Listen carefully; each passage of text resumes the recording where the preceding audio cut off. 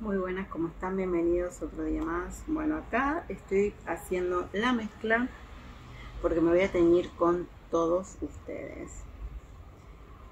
Ya saben, este es un canal de perfumes, pero también mmm, soy una persona que le encanta eh, todo lo que tiene que ver con la apariencia, la belleza, los aromas, el make-up, el skincare. Así que quien no le guste lo siento mucho y que no lo vea, no pasa nada. Pero bueno, es interesante si estás pensando en, en tener un color, estilo el mío, castaño, chocolate. Em, en este caso tuve que hacer una mezcla porque como tengo canas, me toma distinto el tono en la cana que el resto del pelo. Evidentemente la cana es blanca y absorbe eh, cualquier reflejo y bueno, y quedan, dos tonos. Entonces estuve averiguando bien, hablé con varios profesionales y me dijeron más o menos cómo tenía que hacer. La mezcla consiste en que si tienes entre un 70 y un 50% de canas en el pelo, que es mi caso, eh, tienes que añadir del tinte, un tinte natural y un tinte con reflejo. Del tinte con reflejo tienes que añadir tres cuartos del, del pomo, en este caso yo utilicé esta marca que es una marca, eh, se llama Glosco, es una marca española y la compro en una tienda de todo productos de peluquería. Y bueno, está muy bien, Ameja me cubre bastante, hace bastante que no lo utilizaba y digo, bueno, vamos a, lo que pasa me queda un poco alejada la tienda y no venden online ni nada. Y estas tiene eh, berries y, y, bueno, tiene aceites esenciales eh, muy hidratantes para el pelo. Y está muy bien. Y el tono es este, miren. Este es el, natural, que es el 6, rubio oscuro. Y el que me importa a mí es este. Bueno, si es el pomo, ya lo acabo de utilizar. Es este, que es un 577. Es un castaño mm, marrón profundo, pero bueno, se llama moca puro intenso. Moca puro intenso. ¿Qué pasa? Que al mezclarlo con un cuarto de un tono natural sin reflejo, porque es un rubio oscuro a secas, eh, la cana no queda en distinto color. Vamos a probar a ver si mi cabello funciona. Esa es más o menos eh, la idea. Si tienes más de entre un 30 y un 50% de canas, se pone tres cuartos del tinte del color deseado, en este caso el 577, y se le añade un cuarto del color natural que elijas. Haces la mezcla, como la tengo acá, yo, y se le pone, en este caso, esta, este tinte lleva una mezcla con agua oxigenada de 20, porque no quiero aclarar ni mucho menos, eh, es 1 y uno y medio, o sea que yo he puesto 100 en total de tinte y le añadí 150 ml de este. Bueno, pero primero que hice, lo primero que hice fue ponerme, acá tengo una una cremita que se llama Prismology eh, Diamond Platinum, eh, es un bálsamo perfumado. Esto me lo pongo también para que me duren los perfumes. Es una maravilla, para que vean, aquí les muestro cómo es. Y ya me lo había aplicado antes, pero bueno, vamos a volver a, a repasarlo para que no me manche tanto porque esto va a ser oscuro como me gusta a mí. A mí me gusta el cabello oscuro porque creo que me va bien con la piel. O sea, mi tono natural, bueno, ya ahora es cana, pero mi tono natural siempre fue eh, de adulta el número 6, siempre. De chica era rubia, pero bueno, era muy, muy, muy rubia, rubia dorada. De eso no quedó nada. Así que vamos a empezar. Tengo acá también un peine, ¿eh? un cepillo que ya me desenredé, pero para adelante, porque me gusta empezar de adelante, no de atrás para adelante. Y me traje un ganchito de estos, unas toallitas que vienen con agua micelar para limpiar en caso de que me manche y, ya. Bueno, vamos a empezar. Me voy a mirar aquí en el espejo. Si no miro ahí es que estoy aquí con el espejo. Y les contaba, este es un tono voy aplicando bien en la raíz y después les voy a llevar hacia las puntas. Pero les decía, este es un tono muy, este, los guantes indispensables. ¿eh? Em, y huele, a, a, frutas, a berries. Bueno, un tono muy chocolate. A mí me encantan los marrones intensos oscuros, no el marrón claro. Y ahora me lo veo claro al pelo. Si es verdad que muchos años de mi vida fui rubia, temida, eh, me tenía, me hacía mechas, pero ¿qué pasa? Yo hace años me hacía unas mechas divinas en mi peluquería en Argentina y me las hacía siempre una misma persona y bueno, ahí tenías que pedir cita porque estaba súper demandado el lugar. ¿Y qué pasa? Que me vine aquí y no encontré que me hagan el mismo dibujo de mechas y además el color. El color se le, se, le llamaba manteca en ese tiempo. Y era un 1053 creo que era la mezcla, o 10, 10 no. Bueno, nunca me la dijeron porque eso también era como eh, el, el, color al final. Primero me decoloraban y después me hacían el color. Em, sería un pigmento más violeta, que ahora ya sabemos que poniendo violeta eh, matizamos la mecha amarilla. Y eh, así sucesivamente con toda la el círculo cromático, ¿no? Bueno, lo mismo con el maquillaje, o sea, cuando nos maquillamos y tenemos una ojera muy morada, ponemos un corrector amarillito para neutralizar, porque es lo opuesto al violeta. Lo mismo la mecha, si tienes la mecha amarilla te pones algo violeta. Y si tienes algo más, eh, por ejemplo, rojeces o el cabello muy rojo y lo quieres este, neutralizar un poco, vas a usar ceniza, creo yo, porque es más verde. Pero bueno, esas son técnicas. Yo lo que no sé muy bien es tratar las canas. Em, porque ahora me han salido más y nunca había tenido ese problema. Para mí es un problema. Si ahora esto me funciona, que es lo que vamos a ver, ese es el, reto para mí. Si esto funciona, ya está. No hay este eh, nada que, que añadir ni que decir. Probar como todo y a ver si funciona. Otra cosa que hacían en un cabello si tenía Mm, absolutamente esto blanco, blanco, blanco, sin nada de, de pigmento de, del tono de la persona. Ponían directamente el tinte, ven, esas son mis canas. Ponían directamente el tinte en, ¿cómo es? Tinte sin, eh, sin la oxigenada. Ahí lo dejaban 10 minutos y después lo retiraban con una toallita así y con el peine. Eso también está bien, está bueno. Eh, bueno, ahora seguramente cuando deje de hablar lo voy a poner en cámara en cámara rápida, pero bueno, que contarles que espero que, quede bien. No había 5.0, eh, que es el color natural, entonces me traje un 6. En realidad lo del 5.77 lo que me gusta es que es muy intenso y es oscuro y es y es bien marrón. Y eso es lo que estoy buscando. Buenas otra vez. Bueno, este es el resultado. La verdad que estoy muy conforme porque creo que pude cumplir el objetivo que es la cobertura total de canas y que me quede parejo, no que me quede acá claro y, el resto oscuro. Se unificó bastante el tono, es un tono castaño amarronado como me gusta a mí y bueno, qué decirles que estoy contenta. La verdad que muy bien queda, así que tengan en cuenta ese, esa proporción tanto del tinte como, como de la del agua oxigenada para la cobertura de canas. Bueno, eh, acá tengo los productos que con, el, con los que me lavé el pelo, me lo aclaré y me puse mascarilla y demás.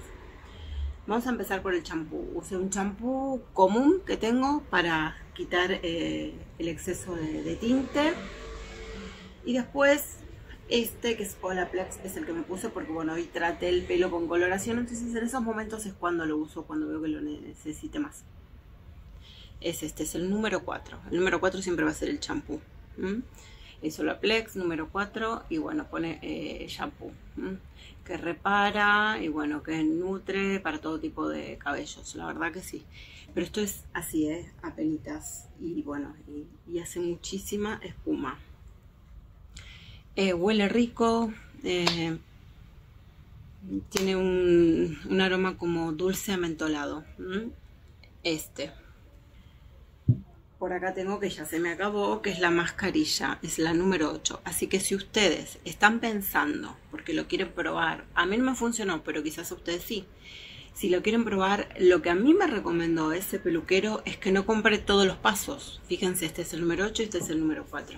Me dijo, comprate el champú y la mascarilla reparadora, o sea, el número 4 y el número 8. Entonces, no haces tantos pasos que serían como 300 euros, sino. Entonces, esto así genial. En todas las perfumerías, en todas las webs ya se puede encontrar esto.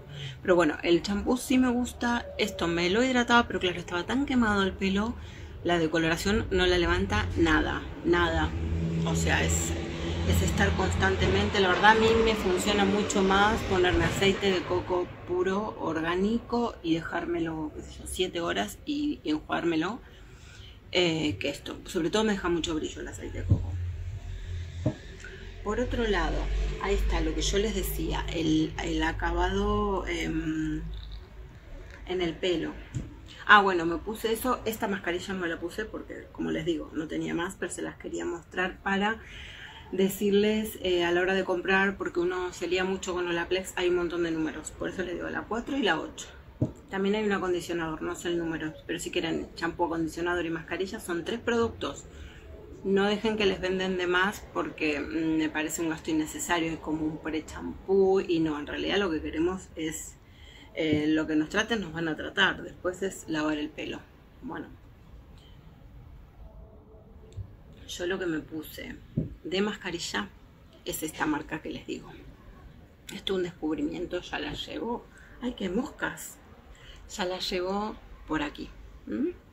Pero bueno, está este dosificador que es muy cómodo y la marca es Boa Brasil Mascarilla Liso Brasileño Queratina Mazargam. Mm, la verdad que así es que queda el pelo como muy chatito, muy, muy llovido. Bueno, lo que noté es que, por ejemplo, si estaba apurada, me lo ponía, sentía la suavidad porque te deja el pelo súper suave y hacía así, yo mm, me jugaba y me iba, me salí, salía de la ducha.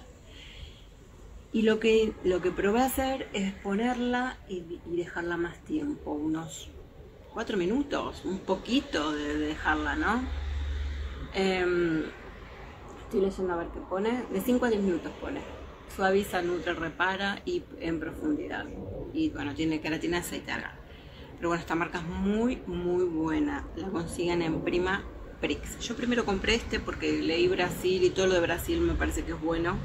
Este serum este serum que se llama Brasil Ser, eh, Serum Sella Tu Alisado. Si tiene ser alisado si es liso.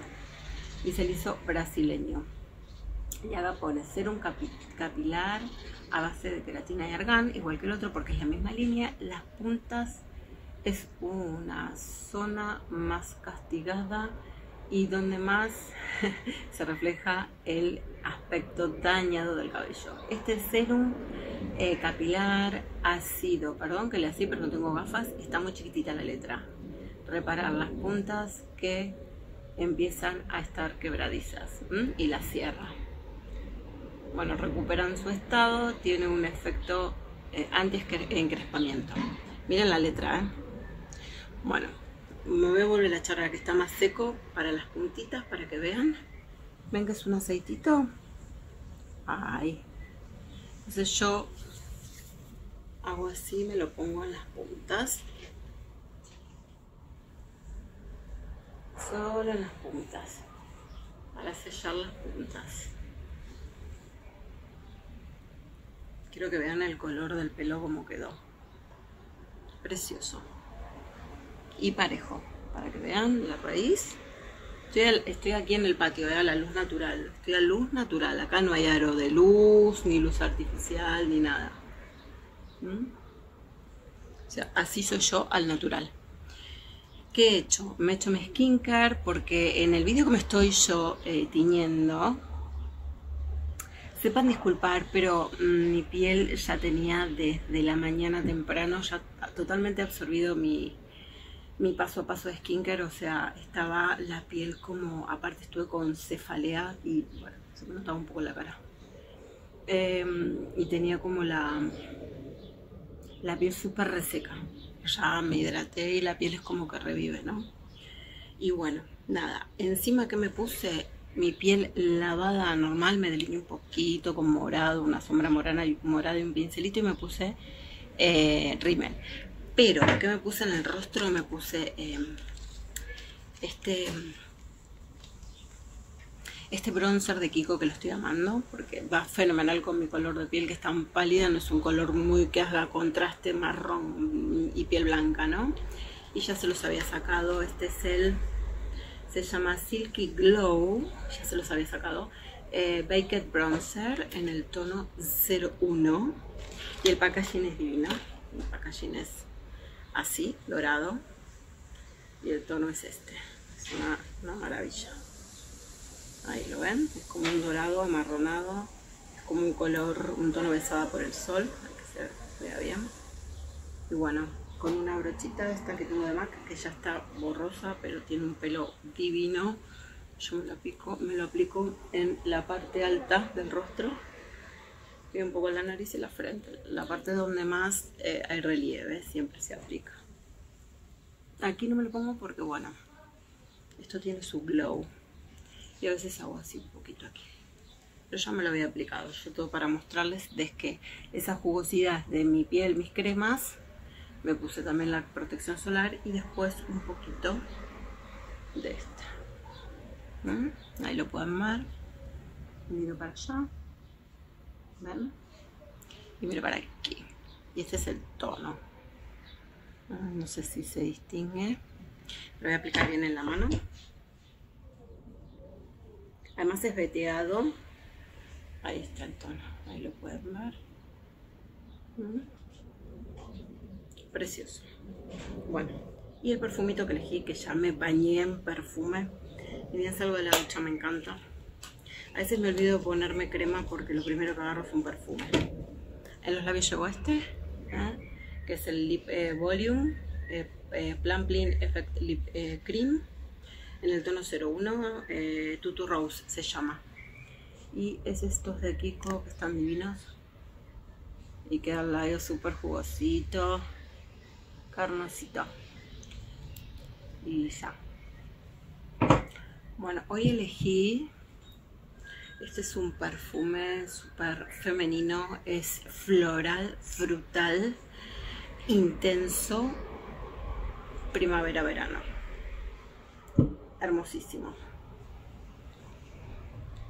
Les estoy hablando de Si Passione Eclat de Armani. Lo voy a volver a echar porque ya estoy vestida y a mí me encanta echarme perfume por el pelo, por la ropa, por todos lados.